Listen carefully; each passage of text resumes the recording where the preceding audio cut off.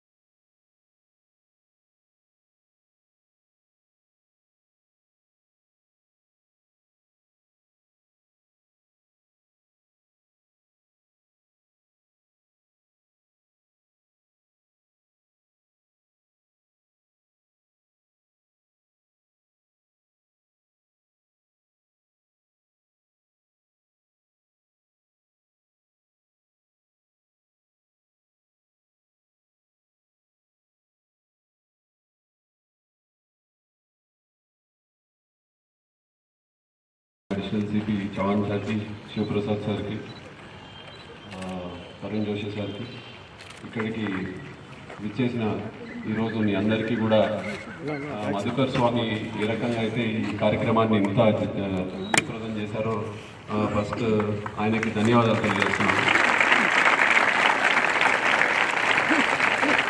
Sir it is uh, indeed a great pleasure, sir, to see Madhukar Swami how he has transformed all of them into such wonderful, uh, almost 50% uh, police officers, sir.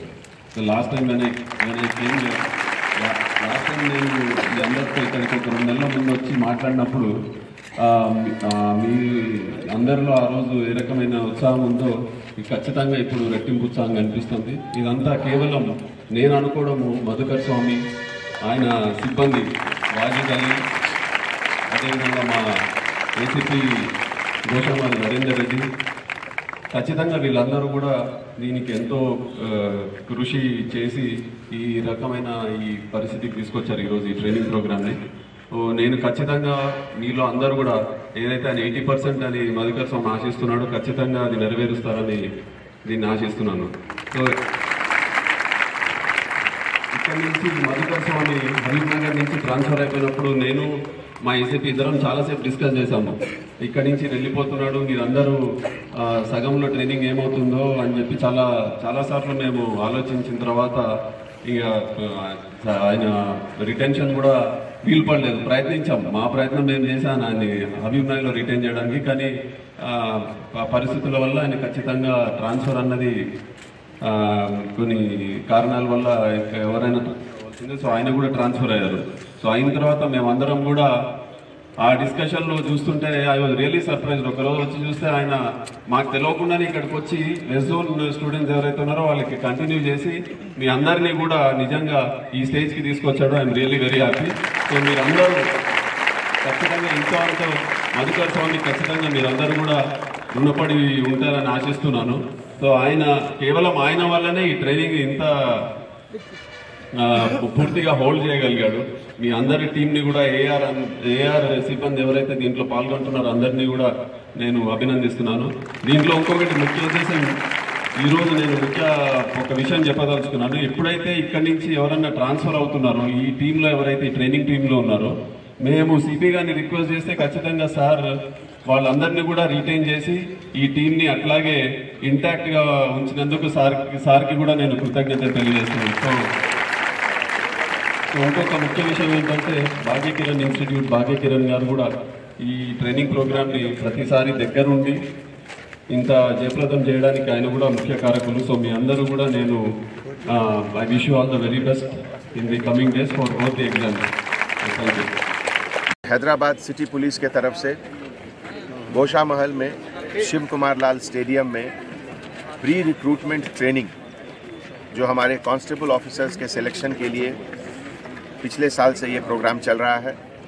और first phase of selection के बाद 5000 candidates में से लगभग 4000 का selection हुआ है अभी तक।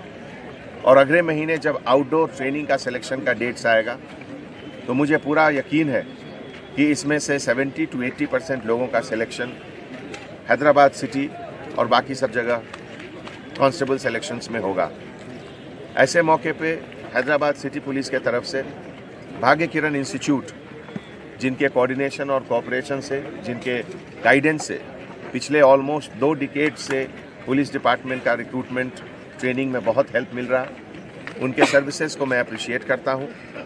और ख़ास करके जो नए बच्चे हमारे ज्वाइन हो रहे हैं डिपार्टमेंट में, उसमें एक खासियत यह है कि इसमें 35 टू 40 परसेंट वीमेन हैं। हमारे प्रियतम मुख्यमंत्री सीएम साहब उनके डायरेक्शन के हिसाब से तेलंगाना स्टेट में पुलिस डिपार्टमेंट में अब 30 परसेंट वुमेन ऑफिसर्स की भर्ती होगी रिक्रूटमेंट होगा।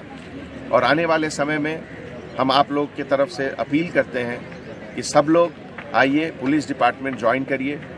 पुलिस डिपार्टमेंट एक बहुत चैलेंजिंग करियर देता है प्रोफेशनली बहुत सेटिस्फाइंग करियर रहता है। और ख़ास करके ऐसे समय में जब हैदराबाद सिटी हिंदुस्तान का सबसे सेफ़ और सिक्योर सिटी है। तेलंगाना स्टेट हैदराबाद का सबसे बड़ा तेलंग, तेलंगाना स्टेट हिंदुस्तान का सबसे अच्छा स्टेट है।